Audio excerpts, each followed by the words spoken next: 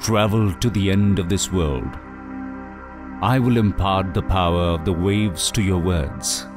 Your feet will have the speed of the wind. Your hands will be able to tame the whirlwind. Your love is as refreshing as the mist of the valley of Sharon. Your arms are like the oak trees of Bashan. Your love is as pure as the morning mist of Sharon Valley. These verses from the Psalms very aptly describe Archbishop Mar Gregorius. Some people are born to perform God's special tasks on earth. Their deeds continue to inspire mankind even after their death. Like sunlight on the calm sea, their lives guide generations after generations.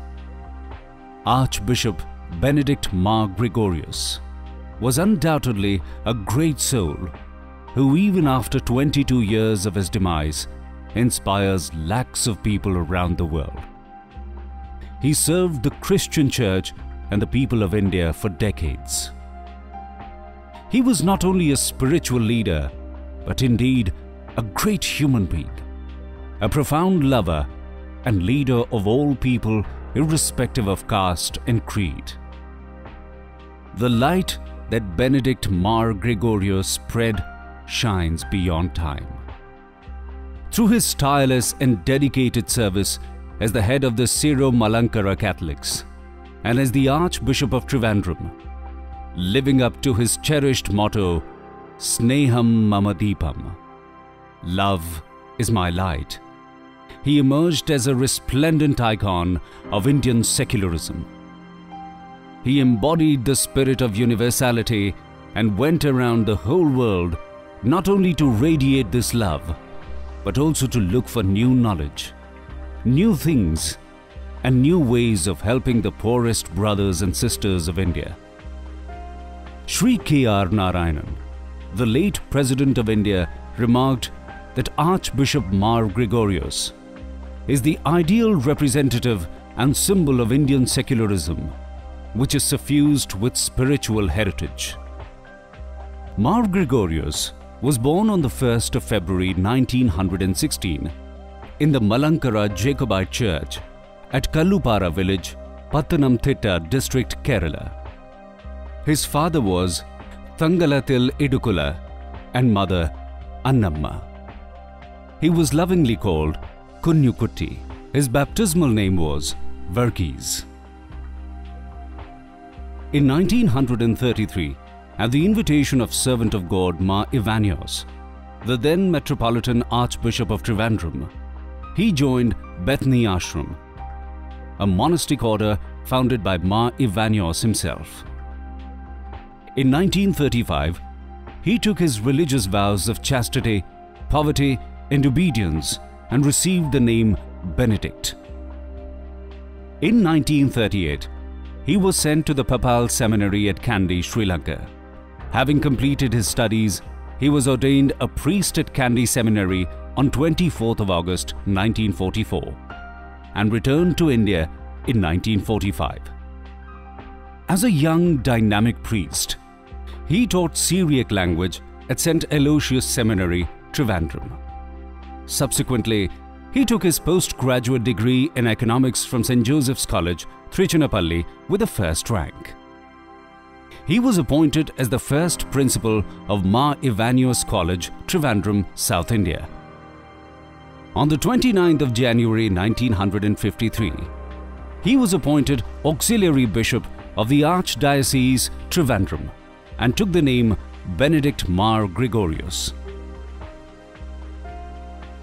After the demise of Archbishop Mar Ivanios in 1955, Benedict Mar Gregorius was elevated as the Metropolitan Archbishop of the Syro-Malankara Catholic Church and was appointed Archbishop of Trivandrum by Pope Pius XII. He employed a very crucial role in the deliberations at the Second Vatican Council held during 1962 to 1965 at Rome. His contributions to the society especially to the marginalized sections, are accepted by all. He was a member of the National Integration Council, advisor to the Agricultural University of Kerala, advisor and member in several national and state bodies for peace and development until his death on the 10th of October 1994. Considering his meritorious contributions to the entire nation, the government of Kerala conferred on him a state burial. His mortal body remains in St. Mary's Cathedral, Pattam, Trivandrum. Archbishop Mar Gregorius was a promoter of interreligious dialogue and harmony, and his interventions helped the restoration of social harmony both in the south and north part of India on many a critical moments when peace was threatened. In solving many communal tensions in Kerala, viz. Chala, Poovar, Nilakal, Archbishop Mar Gregorius played a vital role. Mar Gregorius was a renowned educationalist who started innumerable educational institutions in different parts of India, namely Mar Theophilos Training College, Trivandrum, St. John's College, Anchal, and Mar Gregorius College of Arts and Science, Chennai. He was elected president of the Catholic Bishops' Conference of India, CBCI, as well as president of Kerala Catholic Bishops' Council, KCBC. Mar Gregorius had very close contact with Pope John Paul VI and Pope John Paul II. He was involved in preparing the ground for the visits of both Pope Paul VI and Pope John Paul II to India. Mar Gregorius was an icon of divine mercy.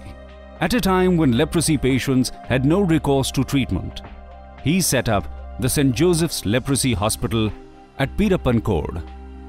After the Second World War, when Cheshire homes were set up around the world, he donated land for a Cheshire home at Trivandrum and Mukkampala.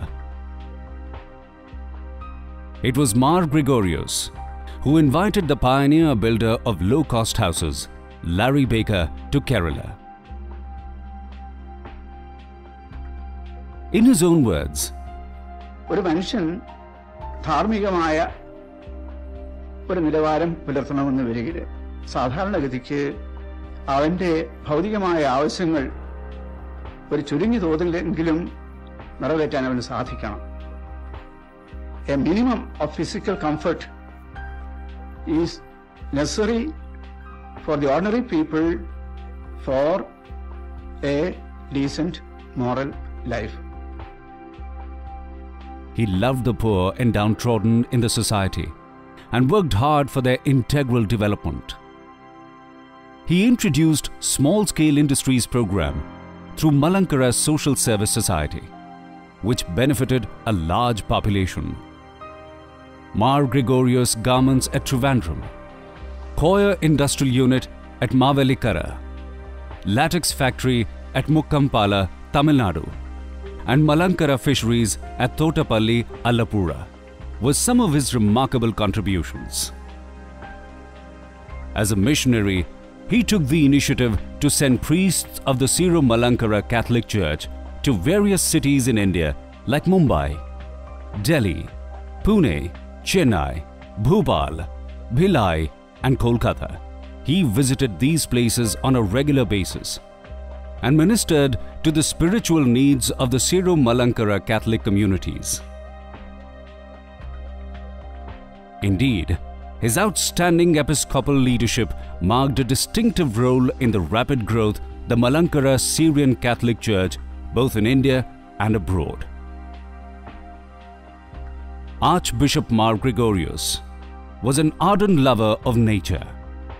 He invested his knowledge and energy for the preservation and development of the ecological harmony by way of practicing and advocating cleanliness of surroundings, cleanliness of air by planting trees, and cleanliness of mind by constant and universal fraternal love.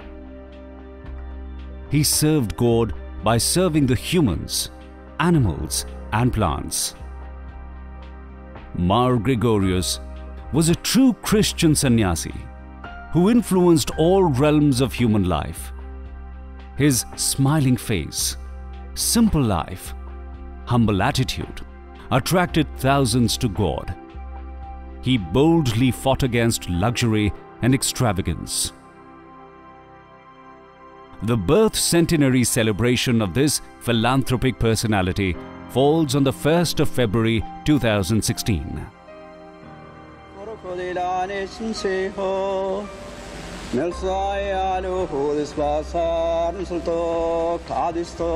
Archbishop Benedict Mar Gregorius sought to concretize the Indian vision contained in the adage Lokasamasta Sukhino Bhavantu. He loved the beautiful prayer recited by our great rishis.